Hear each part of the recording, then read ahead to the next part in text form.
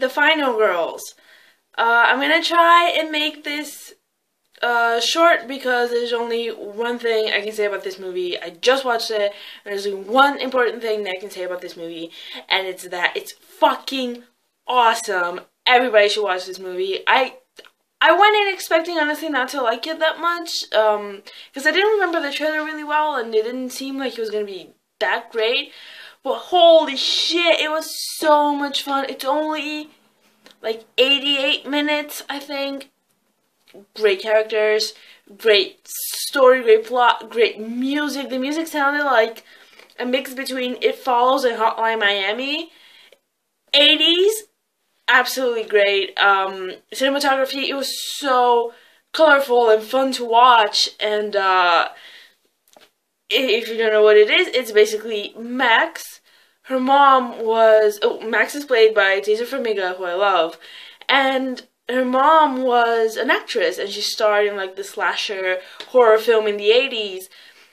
And she goes to this uh, screening of the movie three years after her mom dies in a car crash, and uh, it's sort of like to commemorate, you know, the anniversary of her death, and all these people come in there like super fans of the movie, and it's like a whole cult following and everything. And uh, the theater, uh, there's a fire, so her and her friend tries to like cut through the the screen and escape through an exit behind it, but they end up in the movie. They cut the screen and they end up in the movie, and it's so great. Like she meets her mom in the movie, she meets all the characters and the location, and it's so fun. They managed to make like they managed to make a simple location really fun because it's basically a camp where there's like two buildings and a little bit of like wood area around, but they make it so fun to be it's sort of like how Cooties made like one kindergarten, uh, not like a preschool,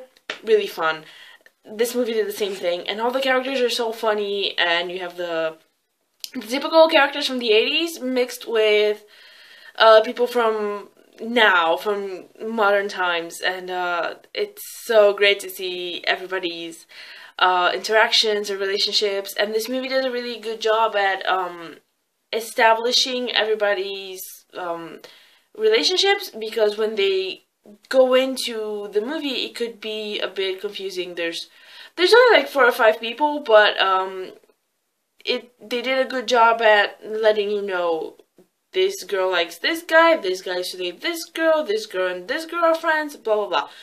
They managed to do it in like five minutes, and it didn't feel um, too much. It didn't feel awkward. It was totally natural so you go in knowing who these characters are because once they go into the movie you're introduced to the characters from the actual slasher horror movie as well so it could be a bit overwhelming having all these people moving in and out but they make uh, they make sure that you clearly differentiate between them and you're not confused on any type of relationship or anything because all the characters are so different and um, they they did a great job at that. And they also did a great job at making this movie not the most predictable thing ever.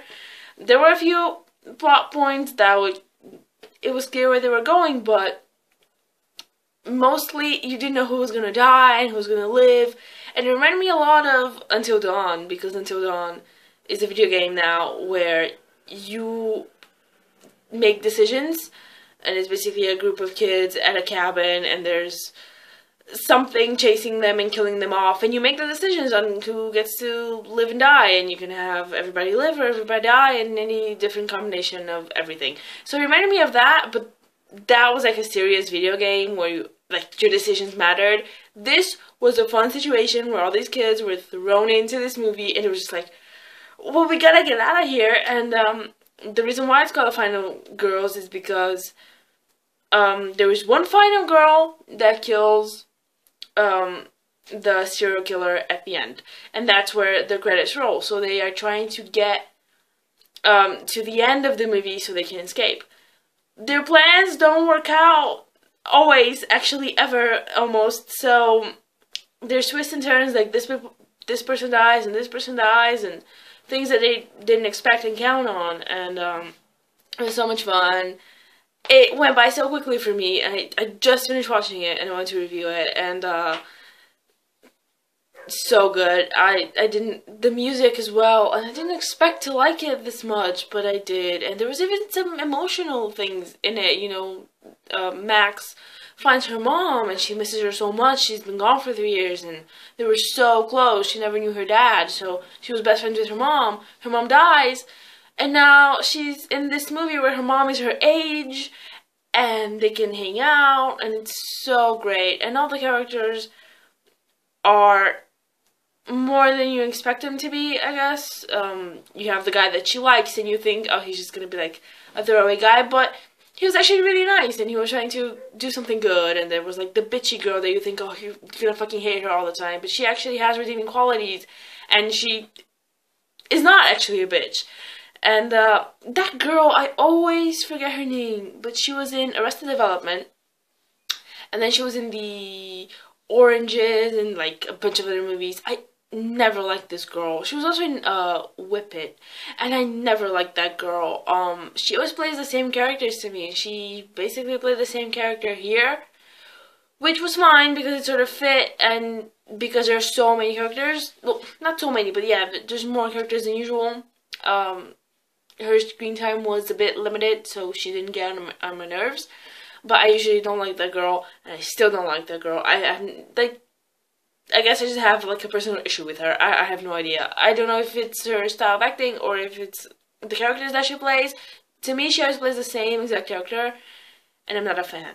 So yeah, and then you have like the slutty girl that has sex with everybody, and then you have like the dumb dog that only thinks about sex also, and then you have Max's mom who's a virgin in the movie, and um, she she dies in the original movie because she loses her virginity. So Max is like trying to get her mom to like not have sex. It's really funny actually, and um, you just want to know if they're gonna make it, if who's gonna live, who's gonna die. Do they get to escape this movie? If someone dies in the movie, do they stay dead in real life?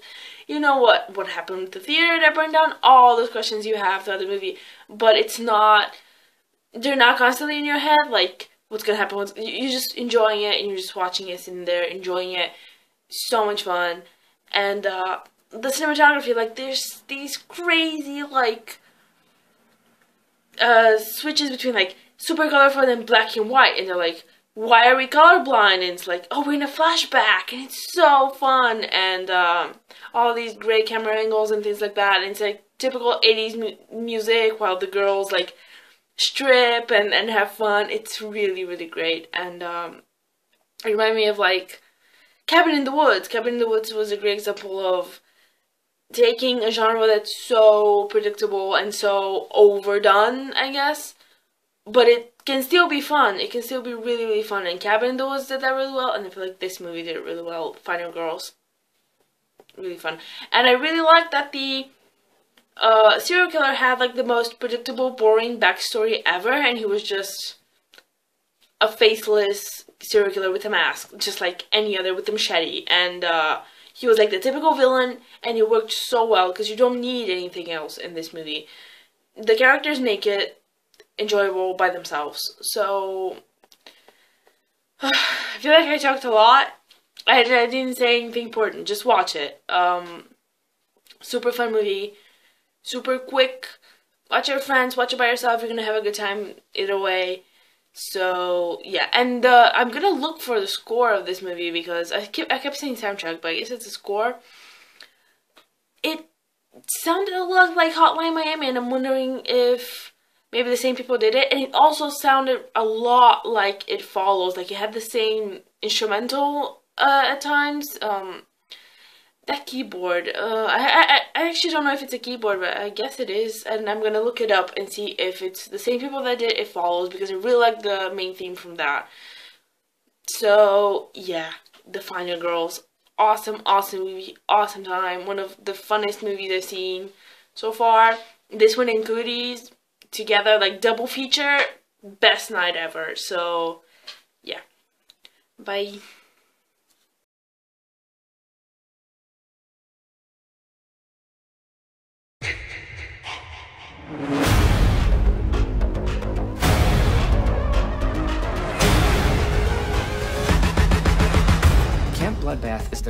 Bloodbath is the granddaddy of all campsite slasher films.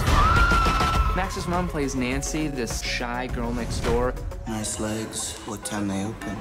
It's cool you get to remember your mom this way. At least I get to see her on the anniversary of her death, even if she is being chased by a psycho.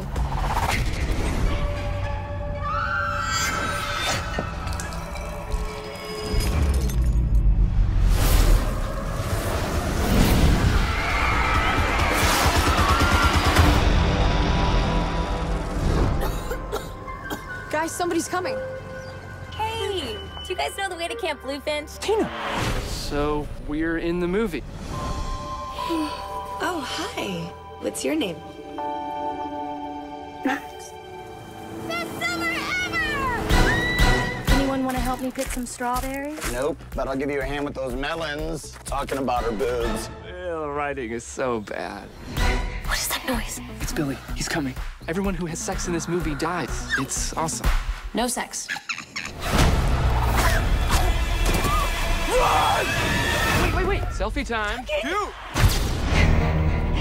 How do we get out of here? Movies like this end when the final girl kills the bad guy and the credits roll. That's Paula. That's the final girl. We just have to stay with her till the end of the movie.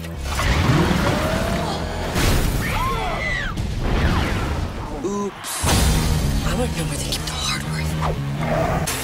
I want chainsaws and big ass knives, and I want them now. Um, guys, what's happening? Why am I colorblind? Am I having a stroke? We're a flashback.